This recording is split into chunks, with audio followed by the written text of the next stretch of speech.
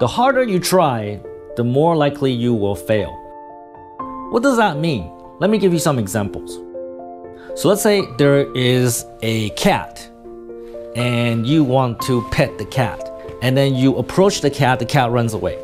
And then you try to go after the cat, the cat runs away, the cat is faster than you. The harder you try to catch the cat, the harder it runs away from you and you never catch him until you finally give up and you sit uh, on your chair and the cat comes to you naturally right? That's one example of you know trying too hard never get what you want.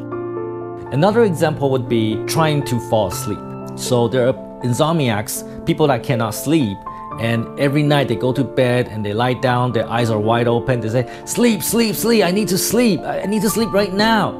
But they just cannot fall asleep. The harder they try to fall asleep the more unlikely that they can fall asleep and when they give up trying falling asleep, then they actually fall asleep. That's another example. So, why is that? So, imagine this you are learning how to drive a car. And driving a car is kind of complicated. When you begin to learn try to drive a car, it probably was very, very frustrating. But once you learn how to drive the car, you never think about it. You don't think about it. You just get in the car and you drive. It just comes to you naturally. It's called the state of flow. You no longer need to think about it, you just do. So, how do you get into this state of flow? Well, first, first of all, you have to be good at what you do. Once you're good at something, you can get into a state of flow. So, a state of flow is when you stop wanting.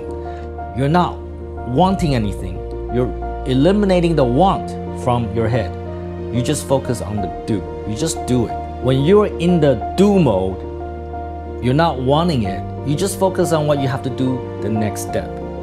You see, our conscious mind is a curse because we need our mind, our conscious mind to learn things. We need our conscious mind to learn how to drive a car. Without our human conscious mind, the, our smart brain, we cannot learn how to drive a car. We cannot learn skills. But our conscious mind also get in the way of our success. Because it always get in the way getting things done. Because it always wants something. You want, want more. It always trying to find another way to do things which actually doesn't work. If you just follow your natural instinct it would work for you. But if you try to outsmart what you have to do then you probably will fail. When our conscious mind try to overanalyze the problem it creates extra stress it creates extra pressure on ourselves. And then when we are under pressure, under stress, we are unlikely to perform at our best and we fail. So, what I'm saying is that use your conscious mind to learn skills. Don't let your conscious mind get in the way of your success. Just follow the teaching, follow the steps, and you will succeed. No matter what you're doing, if you want success, you gotta learn how to get into the state of flow. This is so important. When we try to use our conscious mind to control things, we fail to achieve the result that we want.